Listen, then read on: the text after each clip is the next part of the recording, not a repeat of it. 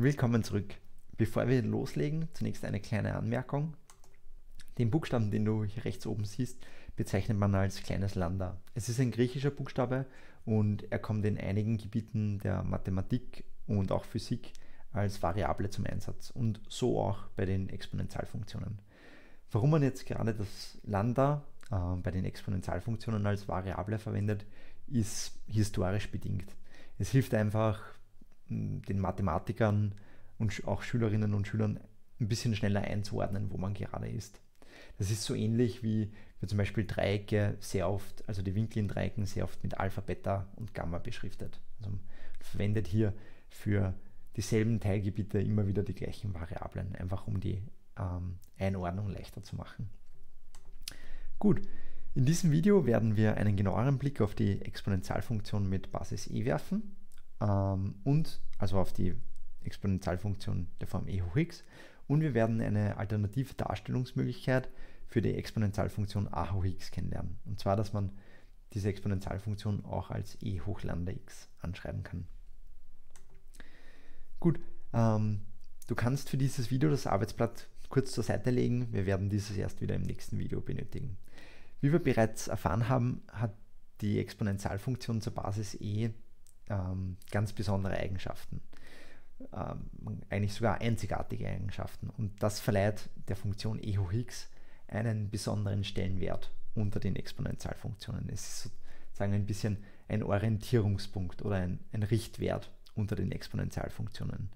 Man kann das vielleicht am ersten vergleichen äh, mit der Grundparabel bei den quadratischen Funktionen. Das heißt, immer wenn man über quadratische Funktionen red, redet, dann vergleicht man diese ganz gern mit der Grundparabel. Zum Beispiel, wenn wir hier die Funktion 2 mal x oder ähm, 0,5 mal x betrachten, dann nehmen wir ganz gern Bezug auf die Grundparabel und reden dann darüber, okay, wie, wie verändern sich hier die äh, Funktionsgraphen in Bezug auf die Grundparabel.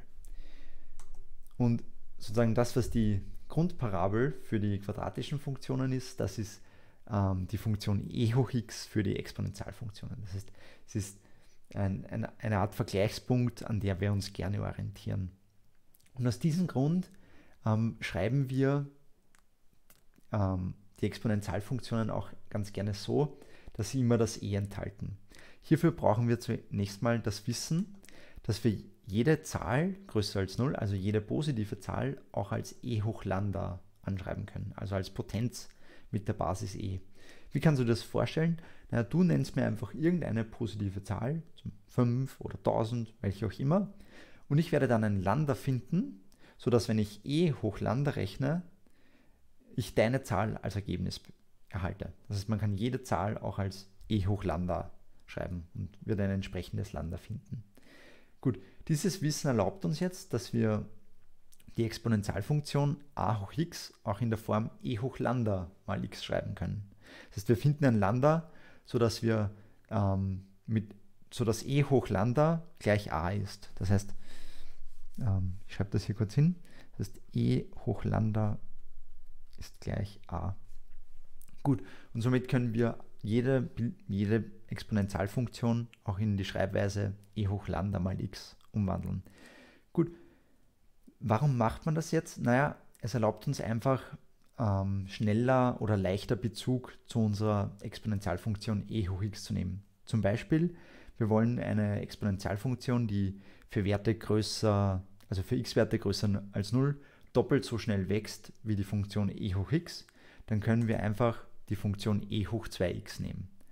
Oder wir wollen eine Funktion, die für x-Werte größer 0 nur halb so schnell wächst wie die Exponentialfunktion e hoch x, dann können wir e hoch 0,5 mal x nehmen.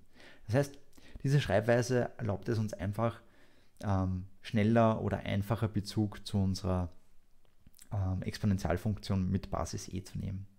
Das war's für dieses Video. Im nächsten Video geht es dann mit dem Arbeitsblatt weiter.